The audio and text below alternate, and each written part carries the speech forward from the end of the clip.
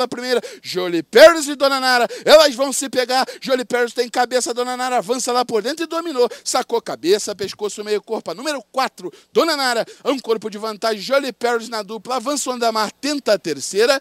Cruzam a faixa final 4, 2, 10, 7, 8. Foi o placar deste penúltimo páreo do programa, vitória da número 4, Dona Nara.